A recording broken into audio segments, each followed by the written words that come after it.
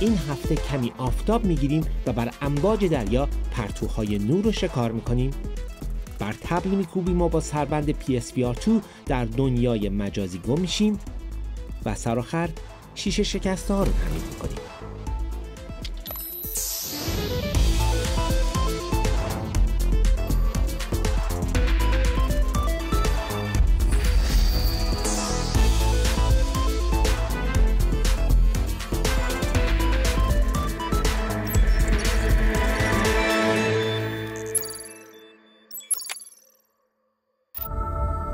ما در کلیک وقتی این رو داشتیم که بعضی از زیباترین نقاط دنیا رو ببینیم. گاهی زیر پوست بعضی از این مکانها چیزهایی است که یادآوری می‌کنند آلودگی و تغییرات اقلیمی چه اثراتی بر جهان پیرامونمون گذاشتند. و گاهی هم به جاهایی مثل این آب دره های اطراف نروژ میریم که به برخی از الهام بخش ترین طرحها در اون جامعه عمل پوشونده شده. مثلا این جزیره ساخته شده از صفات خورشیدی شناور که زخامتش چند میلیمتر بیشتر نیست اما جنسشون در عین سبکی اونقدر محکمه که می‌تونن در هر شرایط دریایی دووم بیارن. و حالا پس از راه رفتن روی آب اجازه بدید بریم به یک کشوری که برخلاف اینجا یعنی بریتانیا آفتابیه پرتغال و آخرین نوآوریاش در این زمینه در دو سال گذشته قیمت انرژی سر به فلک کشیده و رکورد زده این مسئله بعضی از کشورها رو وادار کرده تا برای مهار انرژی های تجدید پذیر در دسترس بیشتر تلاش کنند. پرتغال به لطف آب و هوای آفتابیش بهترین جا برای اینی که منبع انرژیش رو به انرژی خورشیدی تغییر بده. البته ممکنه تا حالا یک مزرعه انرژی خورشیدی شبیه به این ندیده باشید.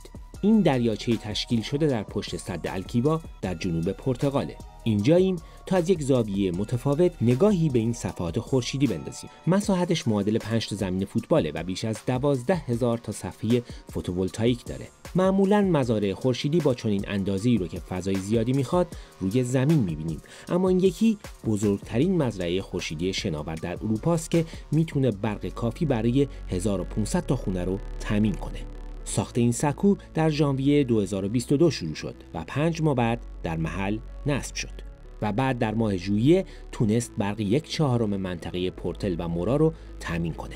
این راه حل با هزینه 6 میلیون یورویش ارزون نیست اما شرکت انرژی EDP تخمین زده که این مزرعه خورشیدی می‌تونه در عرض یک دهه این میزان سرمایه گذاری رو برگردونه.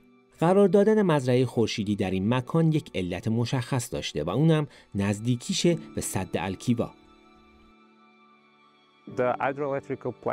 نیروگاه های برقی آبی فقط یک سوم ظرفیت خط انتقال برق رو استفاده می کنند بنابراین دو سومش آزاد میمونه.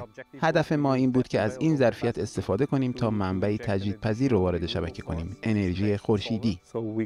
پس این طرح دوگانه رو ساختیم. انرژی خورشیدی و برقی آبی رو روی یک خط انتقال برق با هم ترکیب کردیم که زیر ساختی مشترک دارند. اما گذاشتن این صفحات خورشیدی روی آب مزایای دیگه ای هم داره. چون به سطح آب نزدیک هستن دمای این صفحات کاهش پیدا می‌کنه و بازدهیشون بالا میره. ما شاهد افزایش بهرهوری تا 10 درصد و حدود 4 درصد افزایش سالانه تولید بودیم. سکوهای بزرگ شبیه به این چون مانع تابش خورشید به آب میشن دمای آب رو هم خنک نگه میدارن که این نه تنها تبخیر آب رو کاهش میده بلکه از رشد جلبک های آبی سبز هم جلوگیری می‌کنه که می‌تونن مواد سمی خطرناکی تولید کنند. اگر روی سکو گشتی بزنید متوجه میشید که پرنده های محلی روی صفحه ها از خودشون یادگاری به جا گذاشتن که این روی کار تاثیراتی می‌ذاره که باید مدیریت بشن. وقتی صفحه ها خیلی کثیف باشن روی بازدهیشون تاثیر می‌گذاره. ما یه سری ربات مفهومی طراحی کردیم که باهاشون کار می‌کنیم. هدف اینه که از ربات ها برای پاکسازی صفحات استفاده کنیم که فعلا یک بار انجامش دادیم. برنامه اینه که ربات های خودمختاری داشته باشیم که عملیات تمیزکاری رو خودشون انجام بدن و با هوش مصنوعی پیش بینی کنن چه زمانی برای تمیزکاری مناسبه. وقتی هزاران صفحه داشته باشید تمیز کردنشون هم برای خودش داستانیه. اما یک سوال دیگه هم پیش میاد. اگه همه این صفحات روی سکوی بتونی کار گذاشته شدن پس چطور روی آب شناور میمونن؟ جواب این قطع است. حیرت انگیزه اما همچین چیزی می‌تونه صدها تن بتون و صفحات خورشیدی رو روی آب نگه داره. به نظر سبکه ولی گویا جواب میده. این سامانه های شناور باید هول و 20 سالی دووم داشته باشند. فشار مکانیکی زیادی به این سکوها وارد میشه. بنابراین اساسا کاری که در تلاشیم در انجام بدیم اینه که ترکیبی طراحی کنیم که بتونه بهترین خصوصیات دو تا دنیای مختلف رو شامل بشه. پلی اتیلن و چوب پنبه. اما علیرغم همه این مزیت‌ها فقط چیزی کمتر از یک درصد از سازه های خورشیدی شناورند. بخشی از علتش هزینه های بالاست و بخشی هم سختی نصب این سکوها در بهینه ترین زاویه‌ای که بتونه بیشترین بازده رو داشته باشه. البته همین حالا هم فناوری هایی در حال توسعه هستند که به مزرعه خورشیدی اجازه میدن تا در طول روز به سمت خورشید برگرده مثل این یکی در هلند که مشابه گل آفتابگردون به دنبال خورشید میچرخه توسعه دهندگانش ادعا می کنند که این سازه های خورشیدیاب می‌تونن تولید انرژی رو تا یک سوم افزایش بدند. با چنین نوآوری هایی آینده ای روشن پیش روی فناوری انرژی خورشیدیه و هر کشوری چه ساحل داشته باشه چه نداشته باشه می‌تونه جزیره نیرومند خودشو بسازه. همونطور که دیدید در بین صفحات خورشیدی شناور هم میزان زیادی پلاستیک و زباله های مثل چوب پنبه بود. بشر سعی می‌کنه زباله های شناور روی آب رو با روش های سنتی جمع کنه و البته این کار هم زمان زیادی می‌بره. در این بین شرکتی هست که تونسته توجه و سرمایه زیادی رو به سوی خودش جلب کنه. اون از تورهای عظیم و ربات های هوش مصنوعی استفاده می‌کنن برای اینکه مشکل زباله های شناور در دنیا رو حل کنند. خیلی سختتر از اون بود که تصورشو می‌کردم. عظمت این مشکل واقعا مسئله است. همین الان هم کلی پلاستیک داخل اقیانوس ها ریخته به اندازه 60 سال زباله برامون به ارث رسیده که باید از اقیانوس پاک بشن.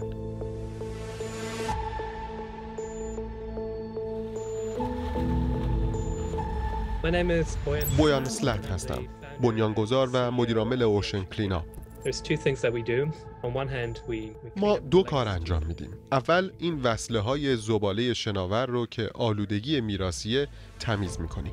موانع یو شکلی رو ساختیم که با سرعت کم از میون این تکه های شناور میکشیمشون.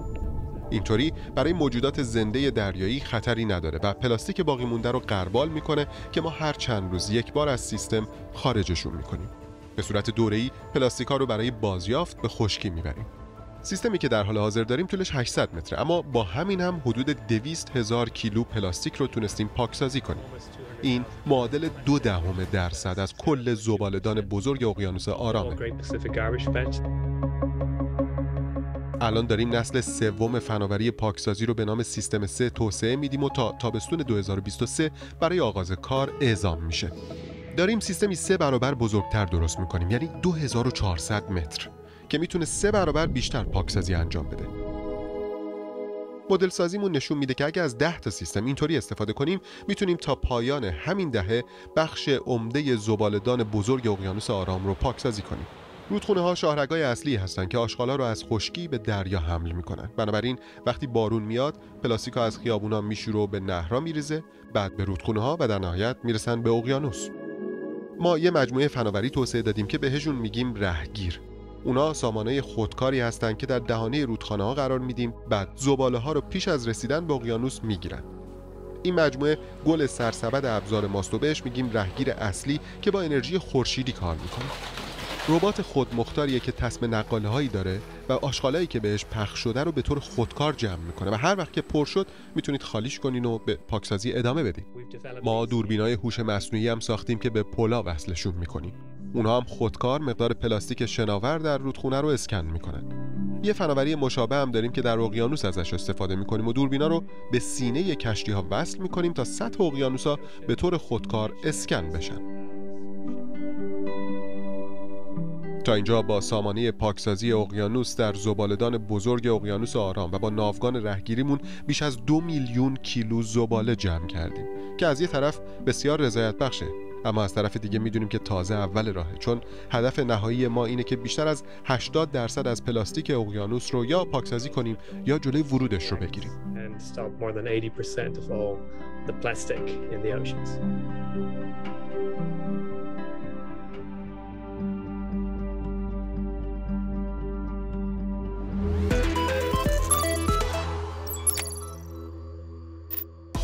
این هفته یک نهاد مالی دولت آمریکا بایننس بزرگترین سامانه معاملات رمز ارزها در جهان رو به فعالیت غیرقانونی در این کشور متهم کرده. در این شکایت بایننس متهم شده بدون گرفتن مجوزهای لازم درآمد سرشاری از دسترسی به مشتریان آمریکایی کسب کرده.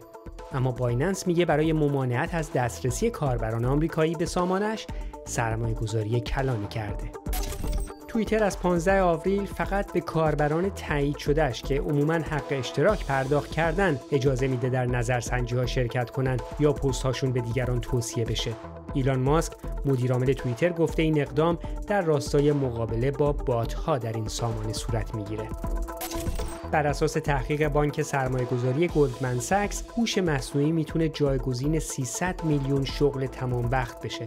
در این گزارش اومده هرچند هوش مصنوعی می‌تونه جایگزین یک چهارم شغل ها در آمریکا و اروپا بشه اما ممکنه باعث ایجاد شغل های جدید و افزایش کارآمدی هم بشه. و اپل در آمریکا امکان خرید جنس و پرداخت بهای اون در آینده رو راه انداخته. خدمات Pay Later یا در آینده پرداخت کن به کاربران Apple Pay در آیفون و آیپد امکان میده بهای خریدهاشون رو در چهار قسط و طی شش هفته پرداخت کنند.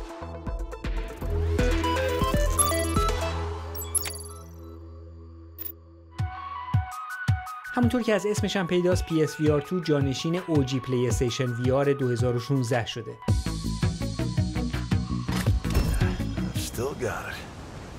از نظر ظاهر و زیبایی سربند شیکیه از اون بازار شام کابلا و جعبه پردازنده که سر VR اصلی پلی استیشن آدمو دق می‌داد تا سر هم بشه خبری نیست. و به جاش یه دونه کابل داره که کنسول پلی استیشن 5 رو با یه یو اس سی وصل می‌کنه. همینو بس. به لطف چهار دوربین اضافی که بیرون سربنده کاربر می‌تونه اگه نیازی باشه فضای اطرافش رو ببینه. و دستگاه نیازی به یه دوربین خفن و چراغ رنگی پنگی نداره که مشخصه سربنده اولیه بود. خودش هدفون داره اما می‌تونین هدفون خودتون رو هم اگر خواستین بهش وصل کنید دو تا کنترلگر بیسیم هم بهش اختصاص داده شده. داخلش یه نمایشگر OLED 4K داریم با یه میدان دید 110 درجه ای و دو تا دوربین دیگه برای ردیابی حرکت چشم. از یه فناوری به نام rendering حفره‌ای هم استفاده می‌کنه که با استفاده از دوربین های ردیاب چشم دقیق جایی فوکوس می‌کنه که بازیکن داره بهش نگاه می‌کنه تا وضوح رو در اون نقطه به حد اکثر برسونه. مقدار کمی هم نیروی بازخوردی لمسی از سمت سربند و کنترلگرها داریم که بگیر نگیر داره. چشمانداز واقعیت مجازی در این سالها خیلی تغییر کرده. در حال حاضر طیف گسترده از سربندها داریم. در نتیجه تعداد قابل توجهی بازی های ویار به بازار اومدن و چندتایش به این دستگاه منتقل شدن که خوبه چون کاتالوگ PS VR قدیمی با این سربند جدید سازگار نیست. احتمالا بازی که می‌تونه توانایی های PSVR رو خوب نشون بده Horizon Call of the Mountain ه این از بازی های خود پلی استیشنه که از فرانچایز Horizon Zero Dawn وام گرفته و در اون فضای پسا آخر زمانی انسان ها در برابر دایناسورهای رباتی قرار می‌گیرن. اینجا با یه تیرکمون می‌تونی مبارزه رو تجربه کنی باید دقیقا همونطوری نشونی گیری کنی که در دنیای واقعی می‌کنی. سرنخ این که بازی چیه تو اسمشه. Call of the Mountain یا آوای کوه چون همش باید از یه جایی بالا بری. کمی بازخورد نیروی لمسی داریم اما مثل سربندهای دیگه ویار موفق نیست. گاهی بازخوردی که می‌گیری کمزوره. um, دنیاش پر از چیزایی که می‌تونی باهاشون تعامل داشته باشی. مثلا روی این تبل میکوبم. یا می‌تونم این رو بردارم و پرتش کنم. و هر کدوم از اینا یه درجه آدم رو بیشتر در فضا غرق می‌کنن یکی از نقاط قوت پلی استیشن به طور تاریخی این بوده که بازی های انحصاری داشته که فقط می‌تونستین روی همین پلتفرم بازی کنید. حالا سوال اینه که واقعا چند تا توسعه دهنده گیم داریم که منحصرا برای این دستگاه بازی های درجه یک بسازن. این قطعا سربند ویار خوبیه اما یه مشکل بزرگ داره. اونم قیمتشه. با قیمت 550 دلاریش از کنسول PS5 هم گرونتره. سربند کوئسشن متا ارزون تره اما از پلی استیشن ضعیف تره با این حال من فکر نمی کنم با این قیمتی که داره بتونه بازار رو قبضه کنه. خب برگردیم به مقوله پایداری و یک راه حل خوب برای استفاده دوباره از موادی که در ساخت چیزها به کار رفتن. بازیافت این روزها دیگه منحصر به شیشه نوشابه و جعبه مقوایی نیست. از پوشاک تا گوشی تلفن رو میشه بازیافت کرد. اما در این میون یک محقق از زوریخ تلاش کرده که یک چیز بزرگتری رو بازیافت کنه. یه ساختمون کامل رو. یه حکایت احتمالا جلی است که میگه اولین بار کاغذ رو در قرن هفتم توی ژاپن بازیافت کردند.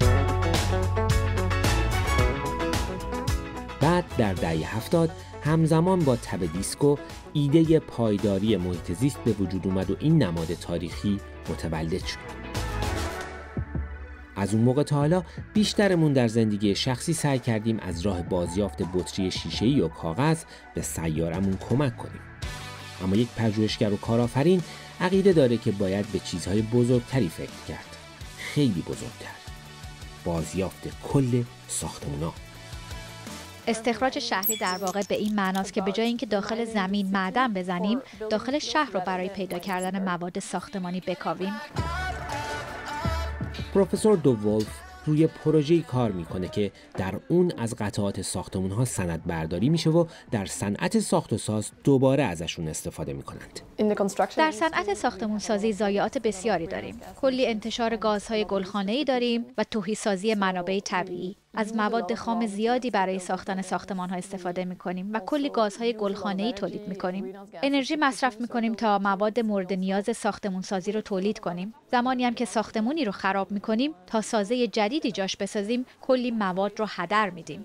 استخراج شهری در واقع به این معناست که به جای اینکه داخل زمین معدن بزنیم داخل شهر رو برای پیدا کردن مواد ساختمانی بکاویم. خب پس چرا به جای اینکه ضایعات رو ببریم به محل دفن زباله و مواد خام بیشتر استخراج کنیم کار تخریب رو با دقت بیشتر انجام ندیم تا مواد آسیب نبینن و ساختمان جدید رو با همون مواد بسازیم. بر این کار از تک تک مواد باید با دقت سند برداری بشه و اینجا جاییه که فناوری به کمک میاد. به نظر میاد راست کار یک ماشین باشه. سریعتر با دقت بیشتر و تلاش انسانی کمتر. ما ساختمونا رو اسکن می‌کنیم. ازشون عکس می‌گیریم. مثلا از عکس های موجود در گوگل استریت ویو استفاده می‌کنیم. تا بتونیم از الگوریتم استفاده کنیم که به صورت خودکار مواد به کار رفته در ساختمان رو پیدا کنن و اینطوری موجودی ساختمان رو دیجیتالی می‌کنیم. این یه پروژه تابستونی برای دانشجوهاش بود که باعث جرقه زدن این پروژه شد. ساخت یک گنبد که کاملا از ضایعات درست شده باشه. اونها یک ساختمان کامل رو در عرض فقط دو روز اوراق کردن و این گنبد رو در عرض فقط دو روز سرهم کردن. بهشون یاد دادیم که ساخت و ساز چرخشی رو دیجیتالی کنن.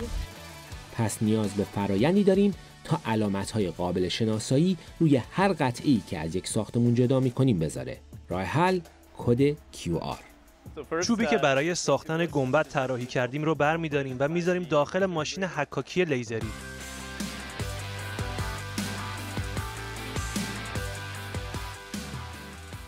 این ما رو ارجاع میده به پایگاه داده قطعات که اطلاعات درش ذخیره شده. اما همیشه هم درست کار نمی‌کنه چون گوشی ها اکثرا دوست دارن کدهای QR رو از روی کاغذ بخونن نه از روی کندکاری های روی چوب. پس با کمی ملایمت و توجه Oh, علا رقم این که این تر در مراحل اولیه توسعه است پروفسور دوولف عقیده داره که این فناوری می‌تونه نحوه طراحی ساختمون ها رو در آینده تغییر بده. ما فکر می‌کنیم که تمام این فناوری ها می‌تونه کمک کنه تا فرایند سریعتر و بهتر و راحتتر انجام بشه و حتی ارزونتر. بنابراین امیدواریم تمام تحقیقاتی که ما با این فناوری ها انجام میدیم بتونه کمک کنه تا مدل ساخت و ساز چرخشی رو در رقابت با روش خطی مقروم به صرفه تر بکنیم. ساخت و ساز در سراسر دنیا استفاده مجدد از مواد به نظر راه حل معقولی میاد تا بتونیم ساختمون های جدید رو پایدار و ارزون بسازیم. معمولیت بعدی اینه که ببینیم آیا خارج از آزمایشگاه هم چنین چیزی واقعا عملی هست یا نه.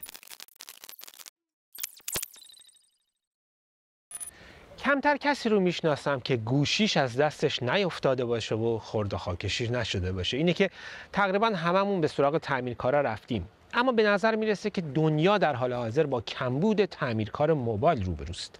بریم ببینیم چه راه حل هایی برای جبرانش پیدا کردند. هر ماه حدود ده هزار گوشی موبایل کارشون به این تعمیرگاه می‌کشه. یکی از دلایل اصلی اینه که دائم گوشیامون رو میندازیم زمین.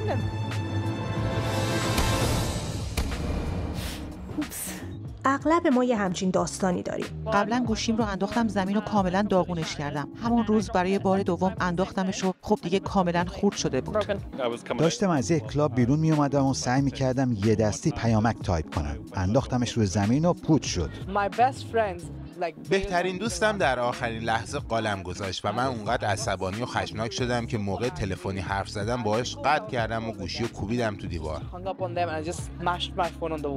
کارکنان TMT First سخت مشغولن تا ابزارک های شکسته و داغون شده رو تعمیر کنند. اما شرکت برای استخدام تعمیرکار دچار مشکل شده چون با وجود فراوانی دوره های تعمیر گوشی متاسفانه استاندارد مشخصی براشون وجود نداره. 33 میلیون خودرو در جاده هاست و بیشتر از 80 میلیون گوشی تلفن داریم. دوره کارآموزی برای مکانیک شدن داریم اما دوره کارآموزی برای تعمیرکار موبایل نداریم. بنابراین همین الان هم تقاضا برای دوره کارآموزی تعمیر موبایل هم هست. برای رفع این مشکل این شرکت آموزشگاه خودش رو برای کارآموزان راه انداخته که بعد از پایان دوره براشون تقاضای زیادی در بازار کار خواهد بود.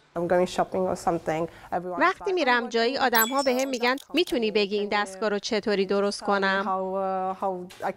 یا مشکل نرم افزارم چیه؟ چه چیز عجیبی اتفاق افتاده؟ تعمیرکارهای با تجربه می‌تونن روزانه تا 20 دستگاه رو تعمیر کنن که میانگین هزینه هر تعمیر چیزی بین 180 تا 240 دلاره. رایج ترین کار در تعمیر گوشی همونطور که احتمالا حدس می‌زنین تعویز نمایشگر خرد شده است. So, we have here device where نشونت میدم چطور دستگاه رو اوراق کنی و دوباره سرهم کنی. کافیه همین فرایند رو تکرار کنی.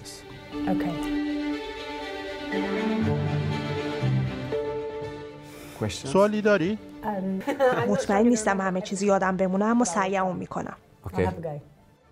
کار وقتگیریه. باید دستهای بیلرزش و صبر زیادی داشته باشی. یه تجهیزاتی هم باید بپوشی تا مطمئن بشی فرزن به خاطر راه رفتن روی فرش الکتریسیته ساکن تخلیه نمی کنی. حتی مقدار کمش هم ممکنه دستگاه رو نابود کنه.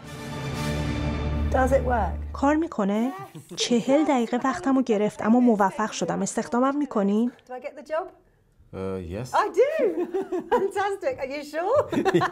از مؤسسه کارآموزی و آموزش فنی حرفه‌ای که یک نهاد دولتی در بریتانیا است پرسیدیم آیا برنامه‌ای برای کارآموزی تعمیرکار گوشی در انگلستان دارند طرحی که قبلا روش کار شده و به طور کامل تایید شده. چیزی که نیاز داریم اینه که گروهی از کارفرماها پیش قدم بشن و طرح رو جلو ببرن و توسعهش بدن. ما هم قطعا حمایتشون می‌کنیم. اما نیاز داریم کارفرماها هسته اصلی کار باشن تا اطمینان پیدا کنیم دوره به درد بخوری خواهد بود و جوابگوی نیازهاشونه در تعمیرگاه گوشی ها بررسی میشن و به صاحبشون برمیگردن. TMT فرست سعی می‌کنه روش های سازگارتر با محیط زیست رو در تعمیرات به کار بگیره. برای بعضی از گوشی ها می‌تونن بدون دور انداختن باتری و قاب بیرونی نمایشگر رو عوض کنند.